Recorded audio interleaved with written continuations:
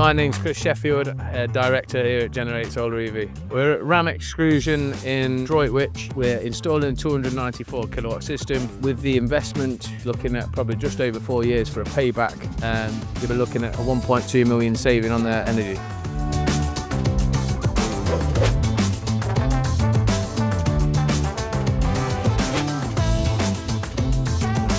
I'm Alan Watts, Managing Director of Ram Extrusion Limited. Ram Extrusion make plastic profiles. If it's a length of plastic, we can make it. Our machines use a massive amount of electricity and we're running 24 hours a day. Our usage for the last year was just over a gigawatt. We're expecting for this system to generate around 23 to 25% of our total usage.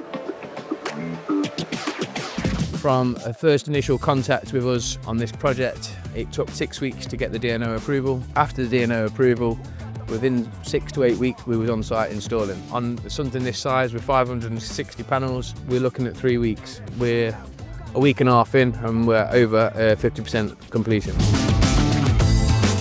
Generate came in, did a quote really quickly, gave me all the information I needed. Guys, when they've been on site, have been really slick, got the system installed quicker than, than they thought they were originally going to.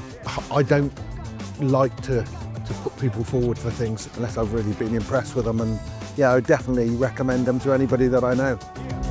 If you'd like to get in touch with the team for a free no obligation quotation and design, please head over to our website and contact us on info at generate-solarev.co.uk.